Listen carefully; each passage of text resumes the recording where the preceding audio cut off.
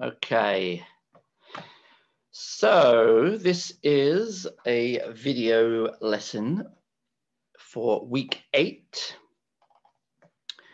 Okay, if we look at the schedule, which I often say, week eight video class and the content, review of the midterm test, and then also practice writing the summary and response from page 97. Okay, so I'm going to go through those two things in this video lesson for week eight. So first, let's start with the review of the midterm test. So what I'm going to do is I will send myself a copy of the test and I will go through each question just like as if I was doing the test like you guys were. Okay, so here's the link in the chat. I open that up. And then if I share my screen again, here is the test. Okay, so let me just go through each question. Generally, everybody did very well. Um, I was quite impressed and happy that most people did quite well. The most common questions that people struggled on were the questions about the common writing mistakes, but those were probably the hardest questions as well. So don't worry too much if those were the ones that you struggled on because everybody or a lot of people did. Okay, here we go then. So just going to start with the first question. Choose the correct answer for this sentence. The summer in Korea is, so we're going to use a comparative adjective, hot, one syllable, one part. So the correct answer is hotter. The summer in Korea is hotter than the summer in England. Okay. So in the past, the most common error here would be students writing more hotter. But I think everybody, most people got this one correct. So that was encouraging. The next two questions are related to unit two, because and because of. So the question says, fill in the blank using because or because of. Polar bears are going extinct blank habitat loss. And I'll just read the next one. Tigers are going extinct, blank. They are losing their habitats. Now, the key to these questions is to look at the word that comes after the blank. This will kind of give you a hint about whether you should use because or because of.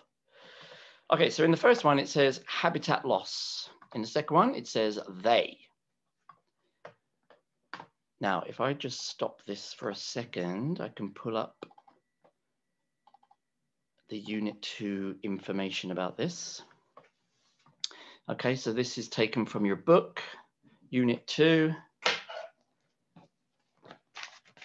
We can just find the page number, or we might as well. The page number is 52, page 52. So it says, because is a conjunction which introduces a reason. It is followed by a subject, a verb, and sometimes an object. Because of is a two-word preposition meaning as a result of. It is followed by a noun, a pronoun, or a noun phrase. Okay, so which one had the noun? Back to the test it's the first one here. Polar bears are going extinct, blank habitat. Habitat is a, a, noun. Habitat loss is a noun phrase. So the answer is because of. Polar bears are going extinct because of habitat loss. The second one, tigers are going extinct because they are losing their habitats. the subject, they is the subject. Okay, so I think everybody got these ones correct, but it's always good to review. Next question is another adjective question. The blank thing I have ever done is a skydive. Again, so this is when you're using comparative adjectives, but also superlative. Dangerous, more dangerous, most dangerous. So for this one, the most dangerous thing I have ever done is a skydive. Usually the best way to do it is just to see which answers do not work. And the other two, grammatically, just do not work. Okay, so again, most people got that right. The next two questions are related to unit one, connecting, combining sentences. Okay, so we're going to choose the correct answer here. The first one, the polar bear hunts seals and meat, blank. The koala bear eats only eucalyptus tree leaves. So we're comparing the polar bear, the koala bear. We want to show the difference between two different things. So in this case, if you referred to your book, you would see that the answer is but or whereas. Both of these words would be okay. The polar bear hunts seals and meat, whereas the, the koala bear eats only eucalyptus tree leaves. Or you could use the word but. Okay, so you're showing how two things are different. Next one. Crocodiles hunt other animals. Crocodiles usually swallow their prey whole because they do not have sharp teeth. Okay, so there's no comparing two different things. It's one thing, a crocodile, and we're showing details. We're explaining about the features of the crocodile. So we're not going to use but whereas. It's got to be the first answer choice or the last answer choice.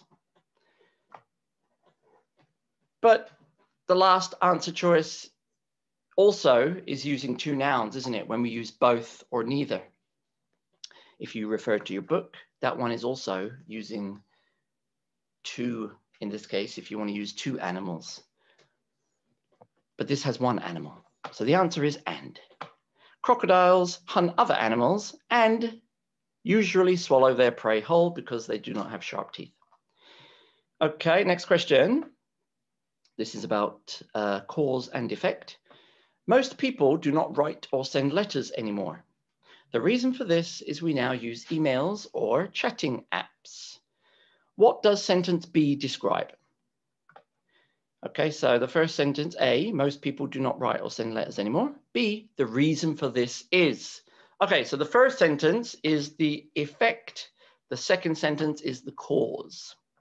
If you see the reason for this is, it's basically the same as the cause. The cause of this is, the reason for this is. Okay, so those are both the same um, meaning. So the answer to this one is the cause. The effect is sentence A. Next one. My mother, blank, go to bed before 10 p.m. Fill in the blank with the correct answer. Is it tend to or is it tends to? Well, we already talked about if the noun is a single noun, my mother, one, then you use tends with an S. My mother tends to go to bed before 10 p.m. Now we have a vocabulary question. The Great Barrier Reef is one of the largest marine ecosystems in the world. Now we have another cause and effect question. Which sentence does not show a cause and effect situation? Okay, so let's just go through them all. The first one, as a child, I used to live in France, Germany, and Spain. That's why I love learning languages. that does show us a cause and effect. The cause, I lived in France, Germany, and Spain. The effect, I love learning languages because I lived in many different countries. Second one, she doesn't drive her car very well. She also doesn't know how to ride a bicycle. Now, is there any is there any relationship between these two sentences? No, they're just two different facts about whoever this person is. She doesn't drive her car very well, and she also doesn't know how to ride a bicycle. This is the correct answer. Let's just read the next two. There are so many cars on the road, and there are more factories too. Cause, this is why air pollution is worse. Effect. He failed his driving test three times. Cause, his father makes an extra effort to teach him how to drive and to let him practice more. Effect. Okay, keep going. Which one of these sentences is not a solution to traffic and congestion problems? We should make the subway cheaper. We should increase the number of buses. We should help people buy cars by lowering the price of cars. We should encourage people to ride bicycles more. Right, lowering the price of cars would result in there being more cars. More cars does not solve the problem of traffic congestion. Right now then, here we go. The first question related to common writing mistakes. I wanted to went to park yesterday, but I couldn't because it rained all day. How many mistakes are there in the above sentence?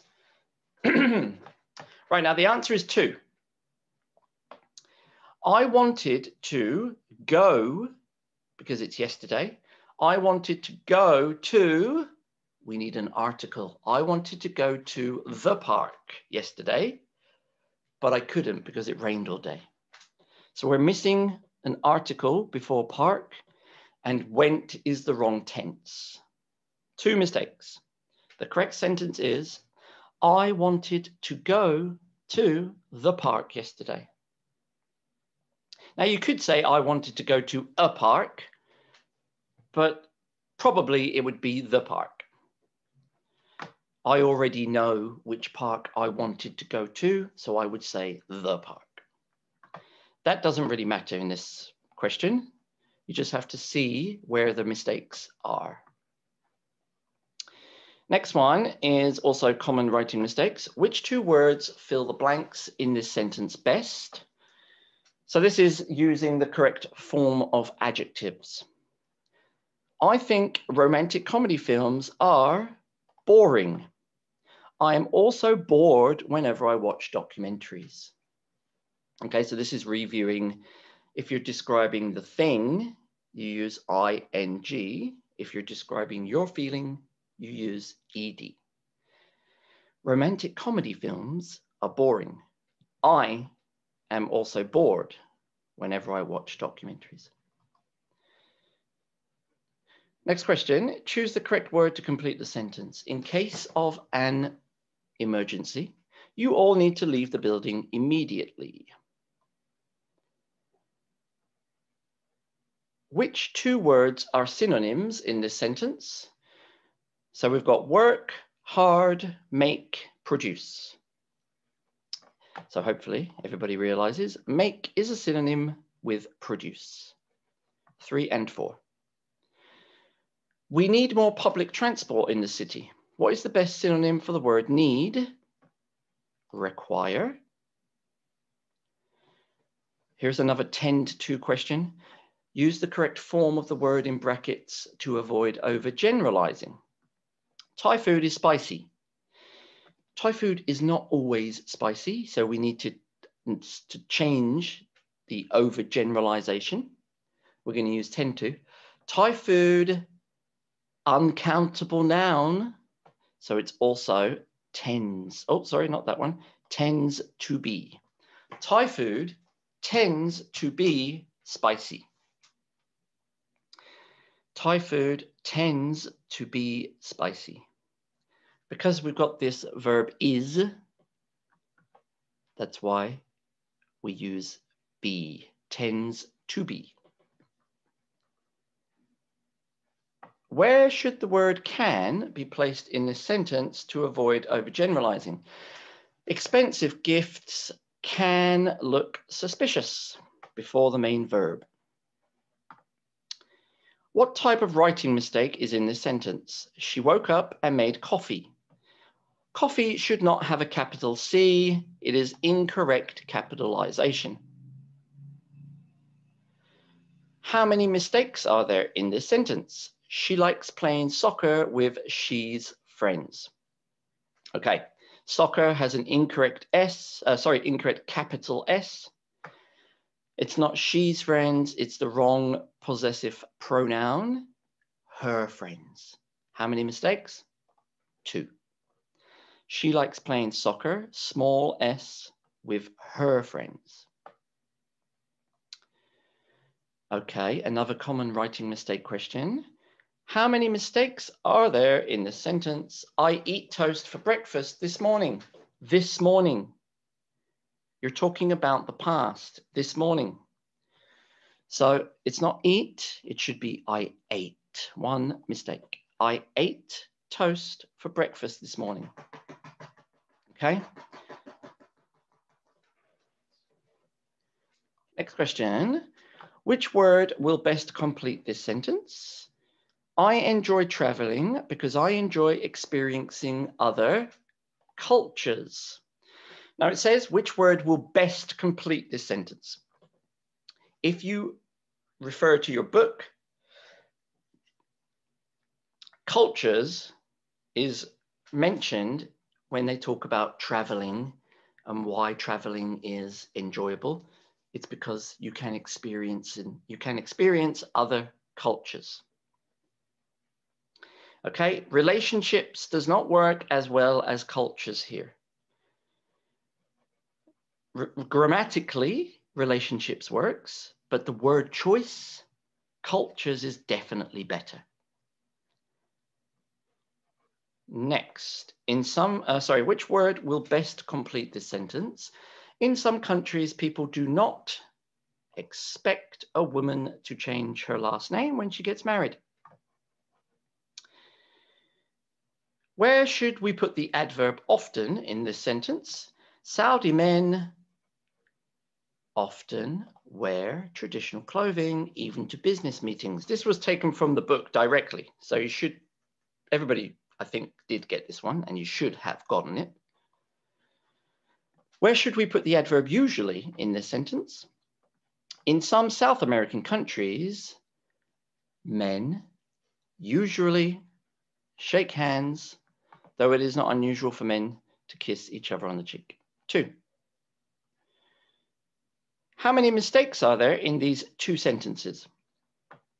Pubs are very popular in England in fact, there are four pubs in the town where I live. Okay, well, the first sentence is fine.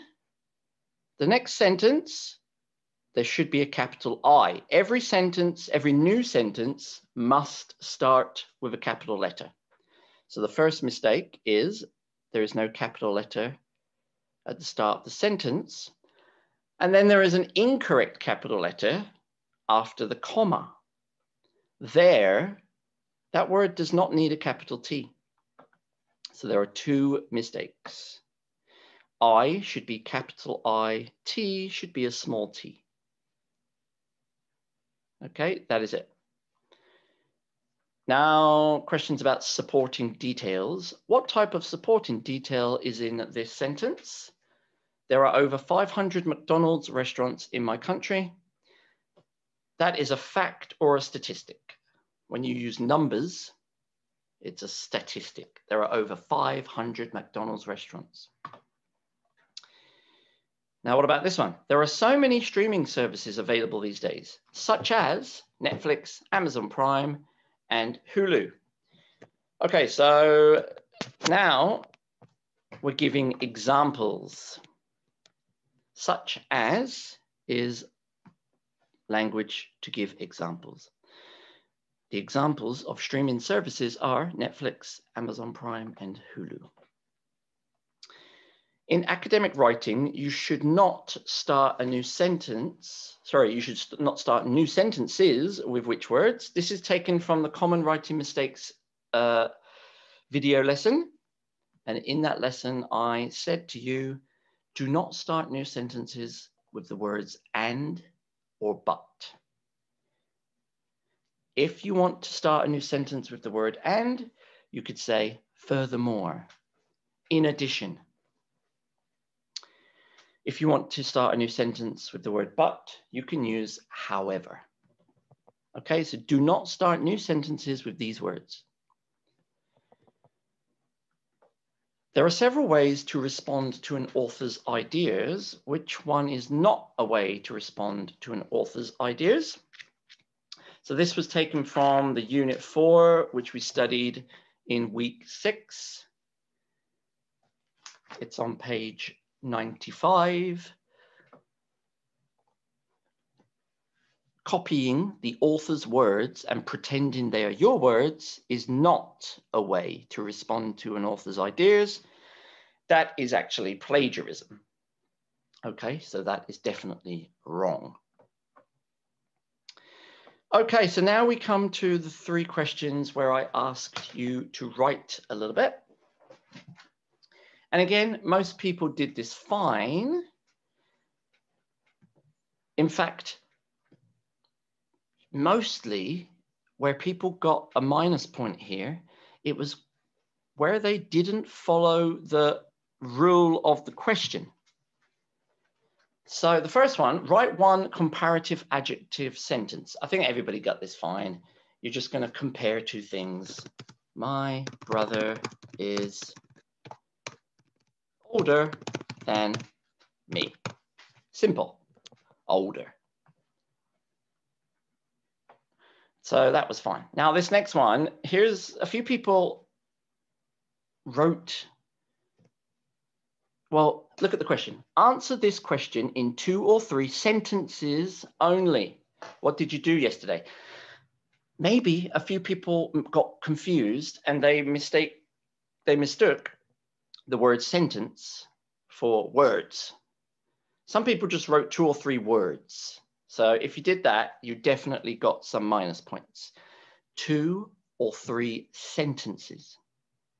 Okay, now what did you do yesterday? So you have to use past tense verbs. Here's just an example answer. Yesterday, I went to the animal hospital.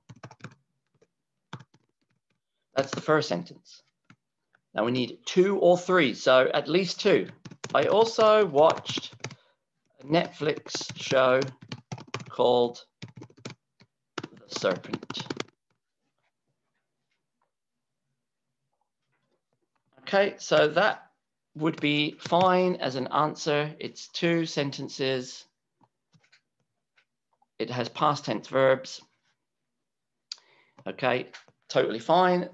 Everybody or this person would get three points. And like I said, most of you did this fine but there were just a few students who didn't write enough. Likewise, for the last question, write one paragraph of six to 12 sentences. So that means you must write at least six. You can't write more than 12. There were a few students who did not write enough sentences. And if, if they did that, then they didn't get all of the five points. Okay, so what is a problem in your life now and how can you solve it? Use details and examples. Now, I'm not going to write an answer here. Most of you answered this fine. Most students wrote about money problems, studying problems, sleeping problems, laziness, part-time job, kind of future direction, their major, so mostly everybody did this fine. But I just want to say, it's very important that you read the question carefully, okay? If it says six to 12 sentences, then you have to write six to 12 sentences. All right, so I think that's probably enough for the midterm test review. And like I say, generally, everybody did pretty well, okay? Now for your, for your score, um, what I'm going to do is I will make a folder in somewhere in the Smart Campus. Okay, so I just want to maybe show you quickly. I can't really show you because I haven't made it yet, but this is a video for week eight. Okay, so also in week eight, I will make, I'm going to make two assignment folders. One of them will be for the next part that I'm going to explain to you, which is a summary and response writing assignment. But the other one is going to be the midterm test score. Now I'm going to put I'm going to put it in an assignment folder. It is not an assignment. You don't have to write anything. It's just the easiest way for me to give you your midterm test score. Okay, I think at this point, maybe it'd be quite useful for me to use the chat. Week eight, there will be two assignment folders.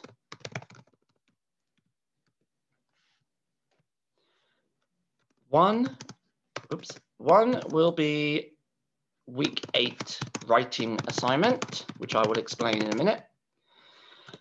The other one, you don't have to write in it. You do not need to write in it. It will just show you your midterm test score.